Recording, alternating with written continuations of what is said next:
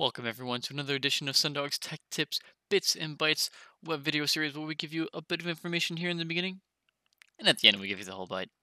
Today we're looking at Microsoft Teams video permissions options and how to get the perfect meeting that you want.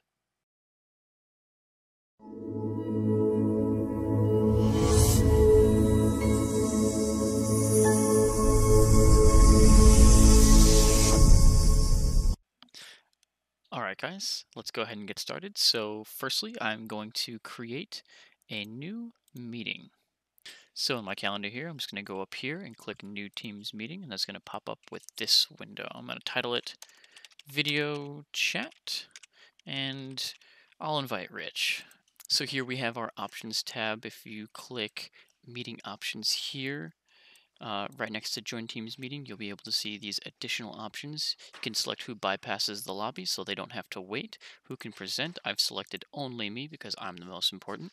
Uh, allow mic or allow camera for attendees. So you can select these on or off just depending on how you want to interact with your audience. Um, and you can also uh, disable or enable chat as well.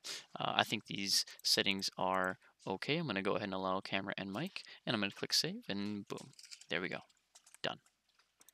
And from here, you just enter the video chat. Uh, as soon as the meeting starts, you'll be able to configure these options again, and I'll show you what that looks like real quick.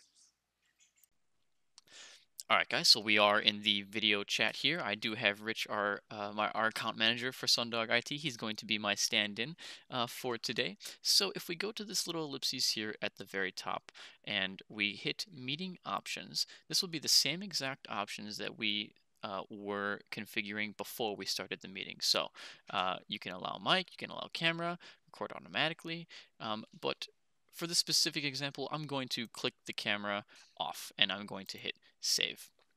And so Rich goes bye-bye. Uh, and you can do this uh, across the board for all, all attendees. You just don't want to see people uh, for whatever reason. We've done it, right? Uh, but if I click this option again, and I put it back on, this will prompt Rich's screen uh, for him to show his video, and now Rich is back on because he has chosen to share his video with us. Thank you, Rich. Guys, thank you so much for watching yet another Bits and Bytes tech tip video.